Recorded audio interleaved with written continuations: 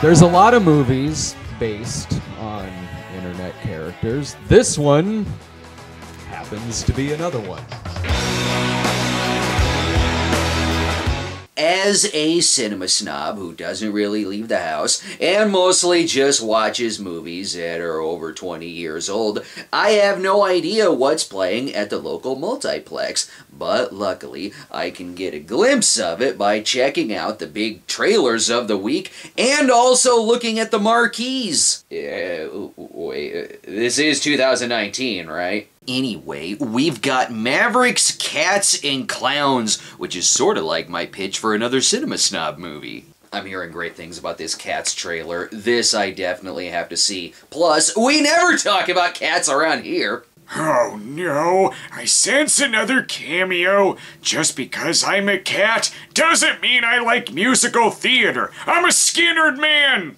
Yeah, okay, Lloyd. This one's directed by Tom Hooper of Les Miserables and The King's Speech, and just look at that ratio. Uh, uh, uh, okay, well, clearly a bunch of dog people voted on that. You've already got your canine stage musical, dog people. I expect to see a lot of frolicking and absolutely nothing fetishy.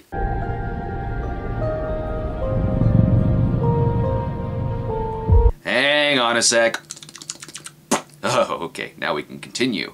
Hmm, I forgot how much cats look like a deleted scene from Elm Street 4 where Freddy turned the school cat girl into a freaking cat. And maybe it's been a while since I picked up a history book, but was Elizabeth the First a cat? Maybe I'm not the right person to talk about this because clearly the target demographic is cats. This is offensive. This puts actual cat actors out of work. This is blackface for cats. Well, I don't know. The, the music is probably good. Oh, oh,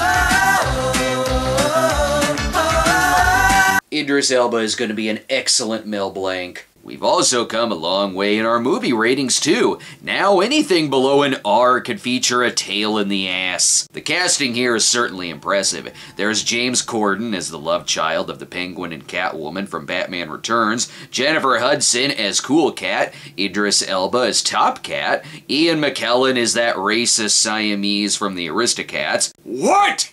There's Taylor Swift as Pikachu from Strokemon, and Rebel Wilson as Rebel Wilson, but this time she's a cat.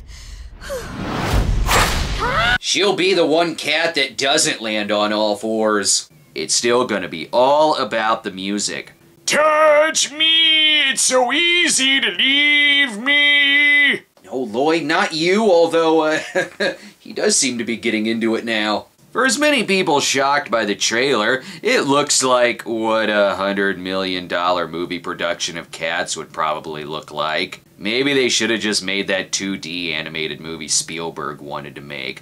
But if I alter the credits a little, we find out that it is definitely Lloyd approved. That is slander! I'll take you to court over this! Hashtag not all Lloyds! I just hope there's gonna be a Flashdance style scene where she dumps a bucket of cat litter on herself while on stage. And that's what happens when someone sees fame, snorts a line of catnip, and says, I want a show about cats! It's like Rent, only they're worried about alley scraps. Ooh, the wave of the coked out musical of the late 70s and early 80s is back, baby! Now let's jump ahead to season 4 of Stranger Things, where this time they're all grown up.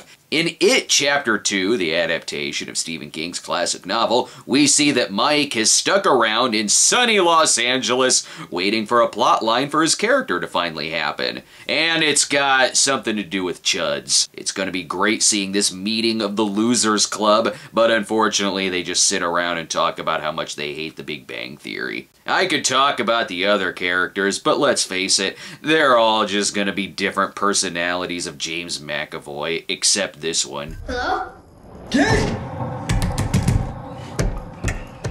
It's been over 20 years and you still don't know that clown is messing with you? And you're all ignoring that Chucky is definitely somewhere in this carnival. Can we at least hear the clown talk? One more step and the red balloon becomes the dead balloon. Hmm, these sequels get so far-fetched, hachi-machi! Pennywise does talk a lot here, almost more so than in the entire first movie. Maybe he'll be more of a character here, instead of sometimes being a special effect and then sometimes having a stroke due to the makeup.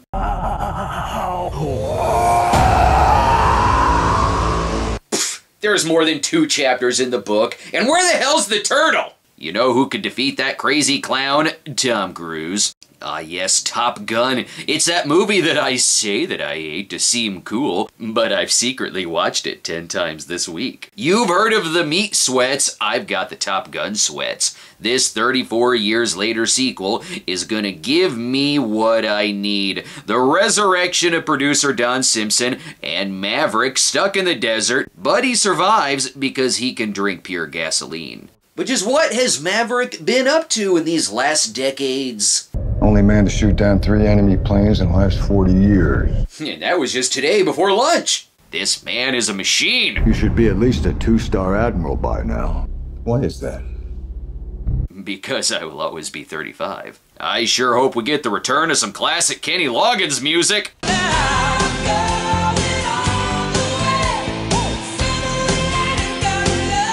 No, no, not that one. I'm suddenly very worried about this sequel. Ooh, not anymore though. It's lovingly filmed in Tony Scott vision, but unfortunately we do not see the afterlife where Goose bullies Gilbert from Revenge of the Nerds. And hang on just a sec. and I'm back with more Tom Cruise being awesome.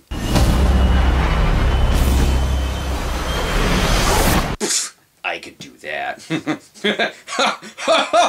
I couldn't do that. Tom Cruise may be a god. Your kind is headed for extinction. Maybe so, sir. But not today. I could live to be a hundred and he'll still be climbing buildings by simply walking up them vertically. There's Tom Cruise, Jets, Jon Hamm, more Tom Cruise, sold. So much of this is done practically, and other movies have problems shooting real cats and clowns. Although I'll still tell you that I hate it, just so I can seem so cute. Now, if you'll excuse me, I gotta go cheer Lloyd up from that Cats trailer. I'll give him a ride in a jet. He'll love it!